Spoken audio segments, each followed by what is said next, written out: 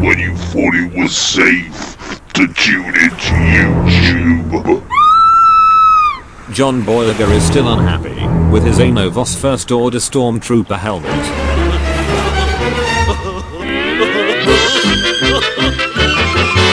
That's all folks.